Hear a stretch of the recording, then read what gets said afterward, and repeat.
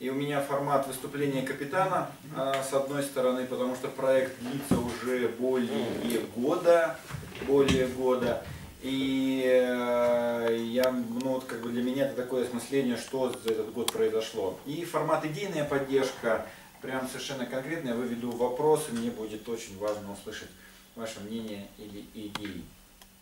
Интересная история про этот... Э, да, я помню, как это в прошлом году все начиналось. История, да, про сибирскую артель. А, у меня сибирская, сибирская артель. У меня э, вот была прям похожая ситуация с Родионом. Я 6 РВК подряд, 6 клубов подряд выступал с одним и тем же проектом. Но по-разному. И все время хотел понять, что же я хочу, что же я хочу-то, господи, от этого проекта. В какой-то момент мне показалось, то есть на шестой я вышел в полное понимание, я понял, что я хочу от проекта. Вот, и он сдвинулся на какое-то промежуток произошло несколько, ну и в чем проект, собственно говоря. Проект, суть проекта следующая. То есть сибирская артель. Артель это исконно русское образование ведения проектов или образование ведения бизнеса. И суть его такая, что собирается некоторое количество людей и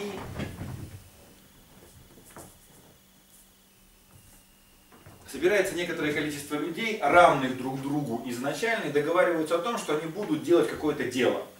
Они делают это дело, и доход, который они получают от этого дела, он распределяется внутри артели согласно КТУ, ну, то есть коэффициенту трудового участия, то есть кто как поработал.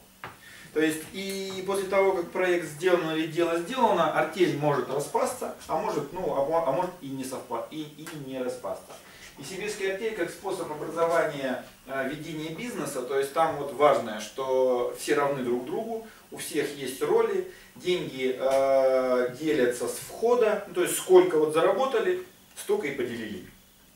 И что также важно, есть круговая порука. То есть круговая порука в том смысле, что если один накосячил в этой работе совместной, то не получили все. И все это понимают. То есть там нету человека, который платит зарплату. То есть если артельщики э, не сделали конечный продукт, за который потом им дали деньги, то никто не получил. И эта штука называется круговая порука в том смысле, что все отвечают за всех. И идея сибирской артели следующая. То есть сибирская артель это проект по... Это питомник для выращивания бизнесов. Это питомник для выращивания бизнесов. бизнесов. То есть, э, что на входе питомника? На входе питомника есть человек, у которого есть, э, у которого есть идея или мечта, у которого есть идея. Хорошо, если эта идея, хорошо, если эта идея основывается на его мечте. То есть это человек, у которого есть идея.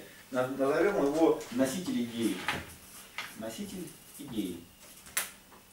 А дальше происходит следующее. То есть этот человек, если захочет, он приходит в сибирскую артель, ну, допустим, так, сибирская артель, заходит сюда, здесь происходит что-то, о чем я расскажу, то, что там происходит, а на выходе Получается, на выходе получается бизнес.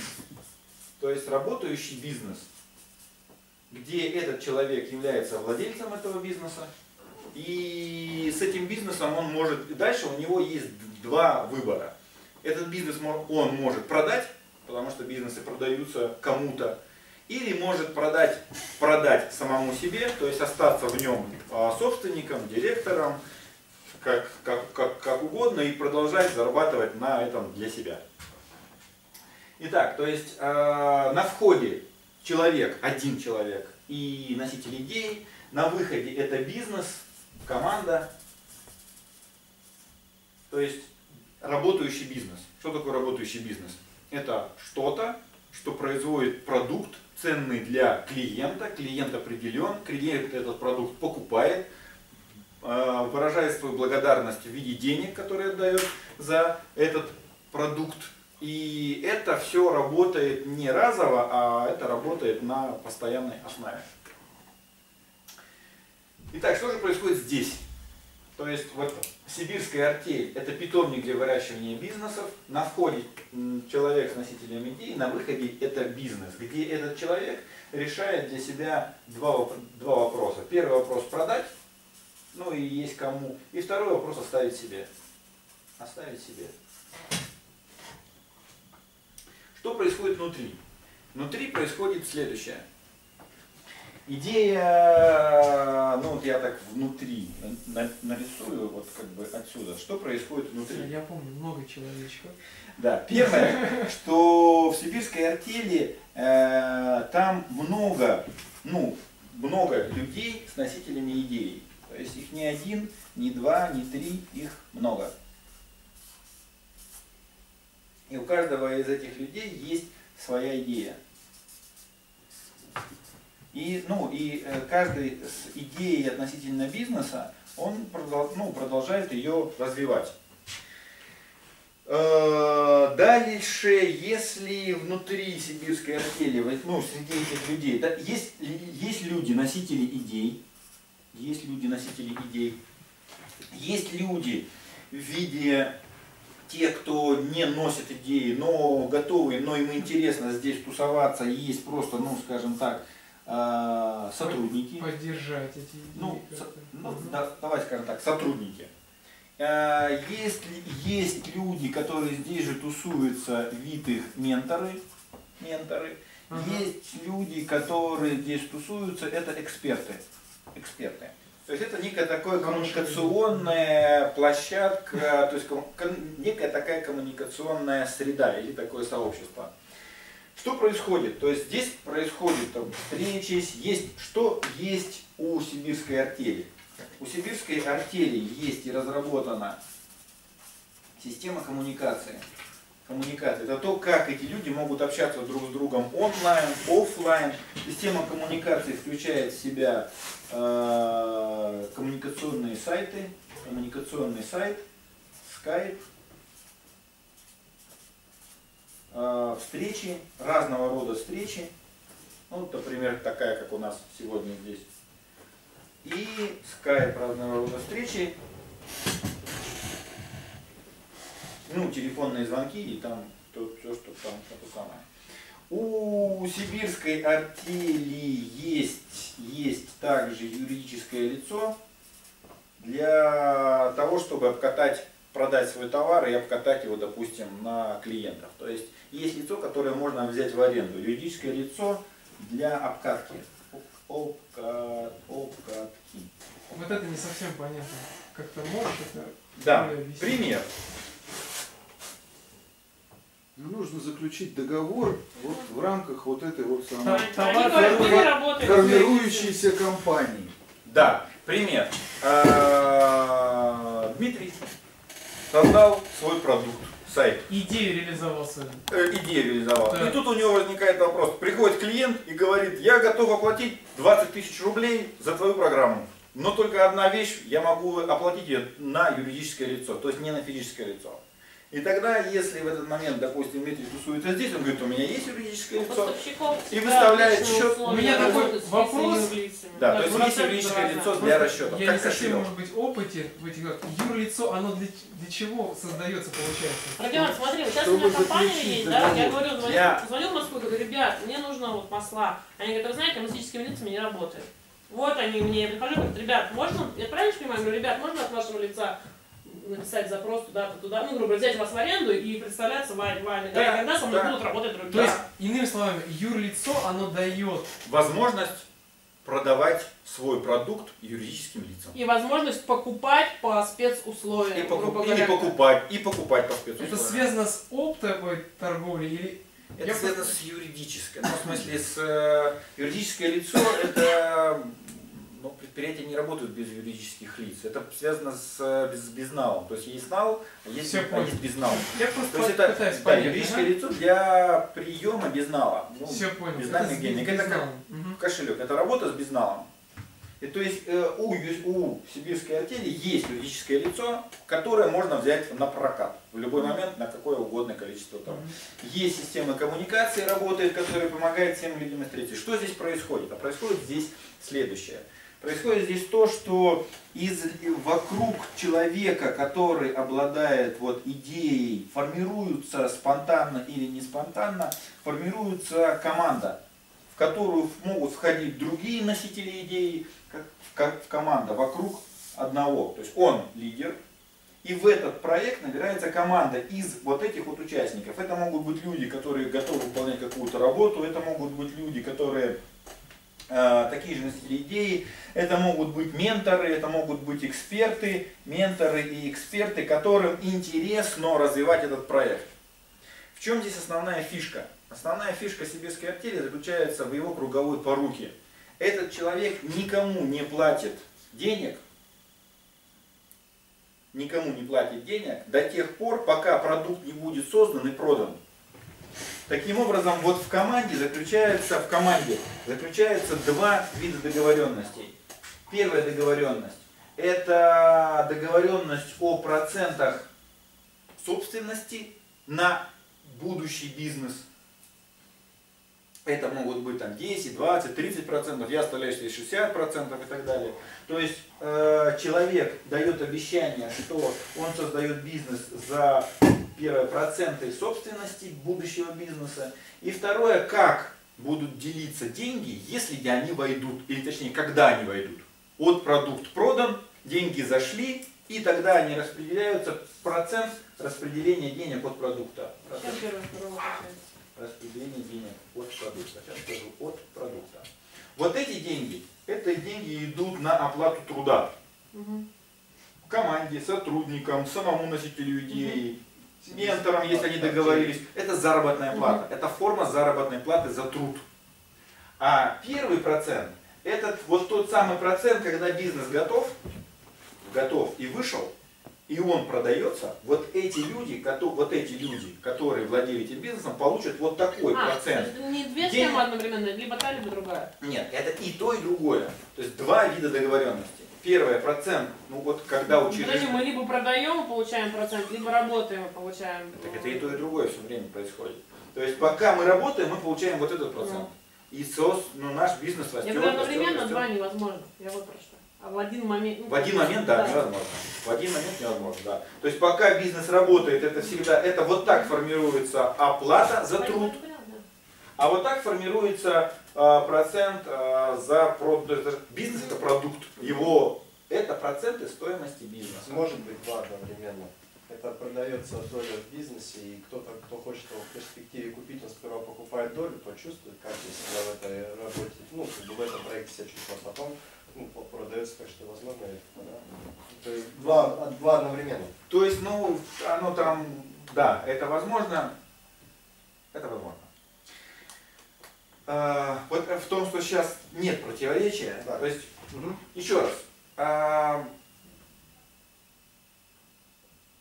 а, ну и еще то, что есть, то, что есть, помимо коммуникационной системы, помимо юридического лица, еще есть, ну, кодекс, что ли, кодекс, кодекс э, артели, кодекс артели. И кодекс артели заключается в том, что мы юридически не фиксируем, ну, собственно говоря, не фиксируем здесь наши, то есть мы юридически не фиксируем собственность на наши внутренние проекты. И кодекс заключается в том, что пока мы строим бизнес и его выращиваем, все на честном слове честном, купеческом, русском слове. Соответственно, каждый его может нарушить. Если как честное купеческое слово, то есть мы не берем осознанно, не берем защиту государства. Здесь мы варимся в нашей внутренней кухне, верим друг другу на слово, понимаем, что здесь происходит. В момент, когда бизнес продается, тогда уже, то есть все, бизнес готов. Он готов, он выходит из сибирской артели, и выходит из сибирской артели, и идем, организовываем юридическое лицо, прописываем там вот эти проценты, которые были договоренности, то есть переходы, и потом это юридическое лицо уже продается по, по всем законодательным там, нормам там, и так далее. То есть внутри, пока идет вот это вот становление бизнеса, пока он растет и пока он становится бизнесом, у нас купеческое слово. И, кстати говоря, когда есть кодекс артели, в котором очень важная такая штука, это русское, купеческое слово. Ну и, и кодекс артели, там прописаны правила, по которым происходит ну, внутри всевозможные взаимодействия. Теперь вопрос надеи на поддержку. Что я не учел? Чем не так? Или поддержка. То есть а, все это экспертная поддержка все-таки. Это не идейная, да, а экспертная. Что не хватает? Чтобы вам, что вам не хватает, чтобы согласиться? Или в чем, вот, что настораживает? Что, Вопрос что я бы даже сформулировал по-другому. Вы готовы сюда войти? Если готовы, все, все же очень просто. Когда просто ты осматриваешь как бы со стороны, может быть как-то, но стоит вот ты конкретно хочешь туда войти, какие ты видишь, соответственно, плюсы и минусы. Правильно? Именно так? Ну да, если прям вопрос совершенно по прямому задать, да, да. то вот скажите вот просто а, вам лично, чего бы сюда Да, вот если бы нужно... вы пошли, чтобы, чтобы. Вот Евреев не хватает. Евреев? Да. Для чего? Такая схема будет работать у евреев или у старообрядцев.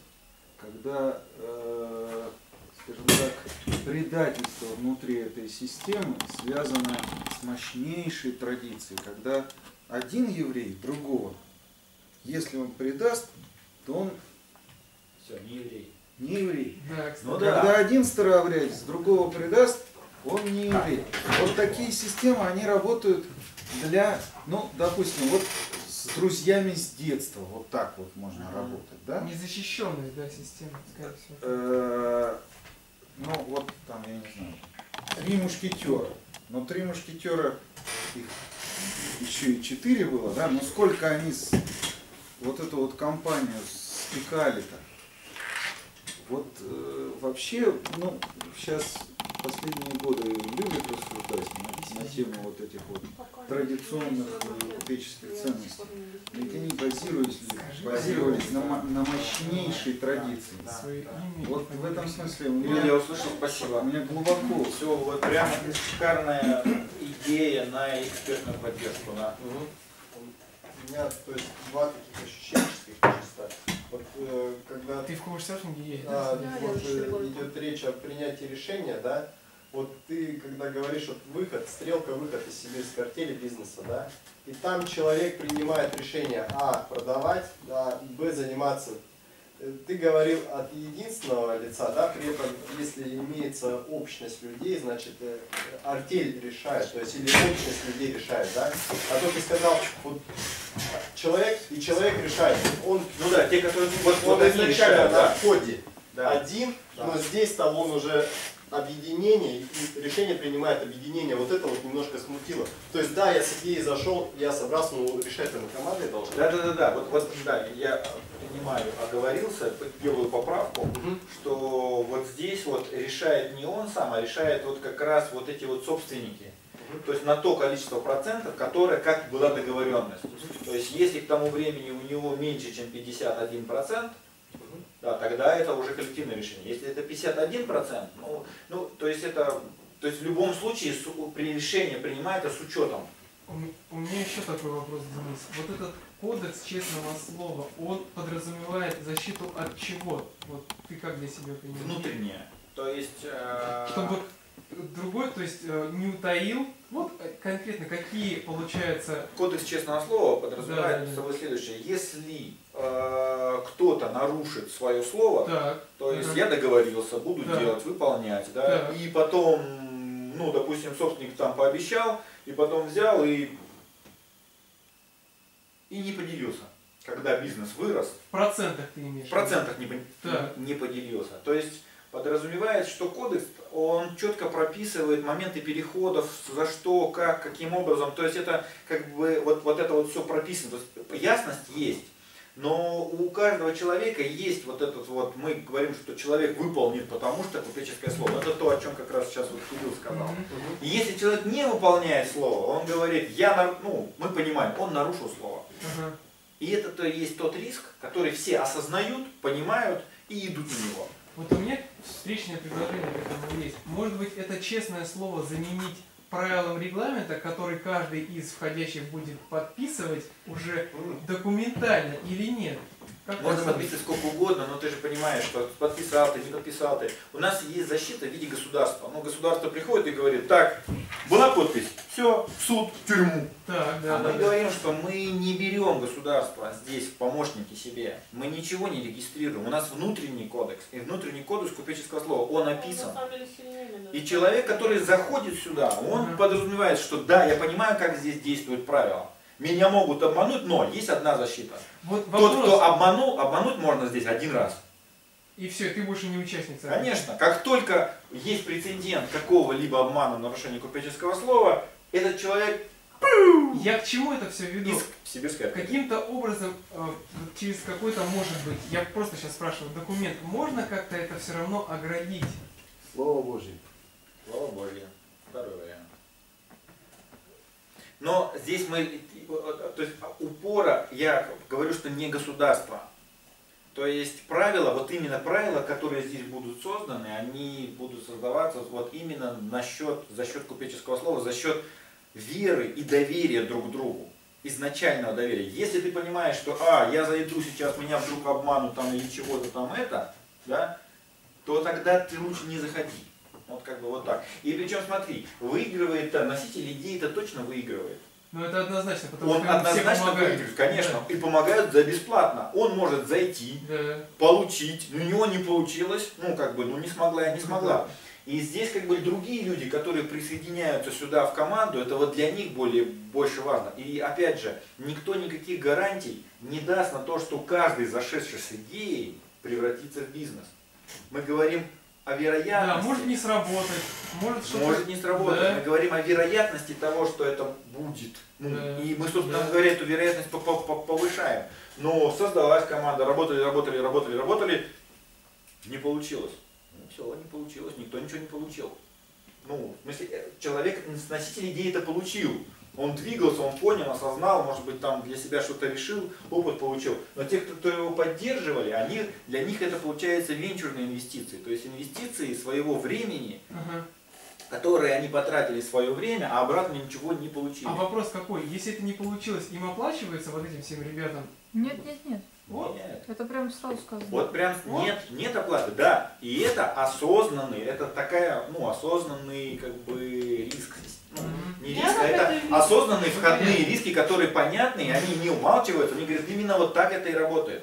То есть, если ты, ты можешь зайти в сибирскую артель, быть в коммуникационной системе, понимать, что здесь происходит, и не входить ни в один из проектов. Не вошел, не тратишь свое время, видишь, ждешь того, который зайдет с классной идеей, и ты тут, «Ой, я хочу к тебе с идеей. Вот, ну, и он говорит, Но, я но, тебя но, беру. но, по- подожди. Есть же экс, вот я посмотрю, смотрю, есть же эксперты, правильно? Эксперты есть. Они же могут на начальной стадии определять, насколько это будет проект Да, рентабелен, ну понятно. не- конечно, поэтому Они здесь могут есть. свое мнение. Эксперт А- может высказать а- свое Они же мнение. еще не боги.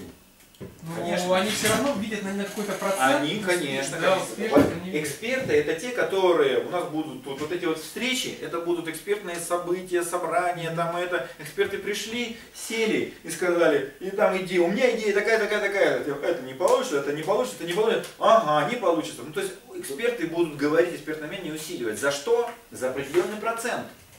Ну, в вашем бизнесе. Ага.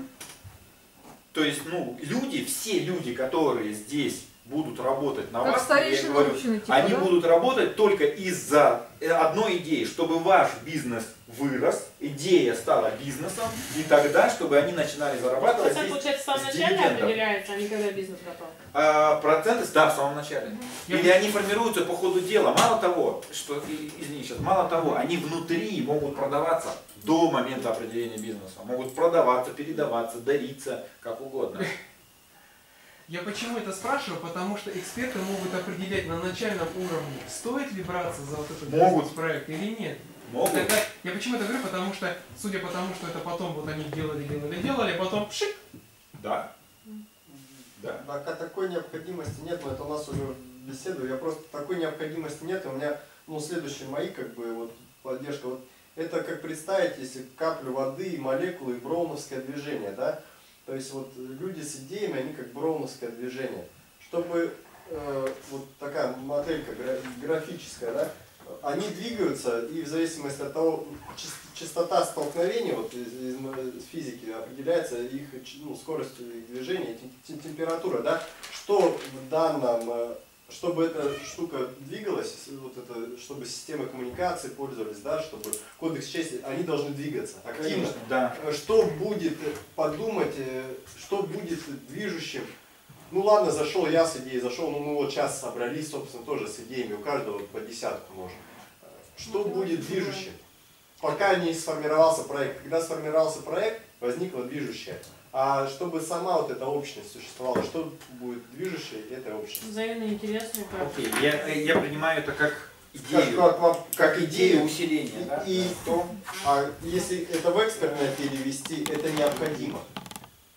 И еще такая штука с точки зрения изображения, вот это я себе под, под пометку сделал, государство в государстве. Да? Вот юрлицо – это механизм взаимодействия одного государства с внешней средой, с другим государством. А при этом вот система коммуникации, кодекс, они должны, их не нужно выносить за пределы этого круга. Это нужно вот в следующий раз, когда изображать как-то внутри круга, и тогда это будет а, в кругу целостности. И, и тогда это уже ту же самую систему коммуникации, она может быть а, той самой движущей силой, чтобы эта артель не распадалась. Вся эта общность.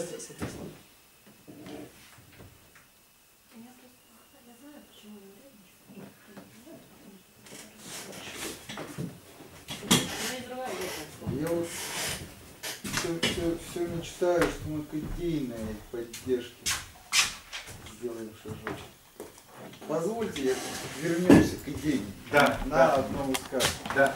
Вот я вот э, все выступления смотрел и думал, то ли это мое преподавательское прошлое, то ли это действительно шикарная модель для дополнительного образования элитного, элитной бизнес-школы, факультета экономики.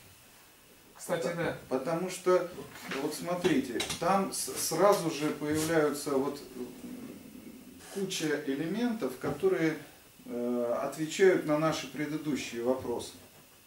Вот по поводу некоего взгрева снаружи этой системы. Да, вот систем, сам факультет это фактор, который поддерживает эту систему. Да? Понятно, кто такие эксперты в данном случае. И э, появляется как раз вот эта вот студенческая солидарность, которая групповая, там, факультетская, которая ну, в какой-то степени компенсирует вот, э, приверженность кодексу.